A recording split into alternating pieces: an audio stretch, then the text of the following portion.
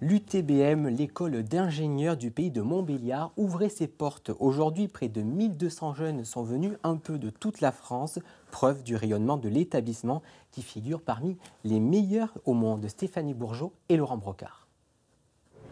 Dehors, tout est calme. Dedans, c'est la ruche. Les couloirs bourdonnent de questions, les candidats volent d'un stand à l'autre, la moitié bouillant d'impatience, a même décollé de loin bien avant l'aube, bravant des conditions météo tout à fait locales. Il fait très froid et encore s'il fait quand même plus chaud là. Euh, ça pique mais ça va. Mais on, tient. Son grand frère euh, est passé par cette école, on est très content de cette école et euh, je, voulais qu'il puisse voir à quoi ça ressemblait pour pouvoir être sûr de se lancer dans ce cursus en espérant qu'il soit accepté.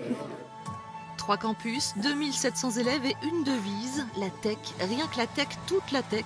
L'UTBM n'a presque plus besoin de faire l'article. Sa réputation la place tout en haut de la pyramide Parcoursup.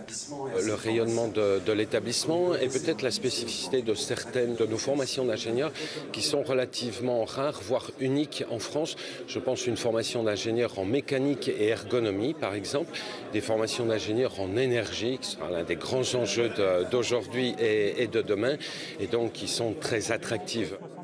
Effectivement, le département énergie, classique ou renouvelable, fait carton plein. L'ingénieur de demain soigne son futur. C'est des thématiques qui rentrent dans, dans notre monde actuel et euh, le, développement durable, etc., c'est des enjeux.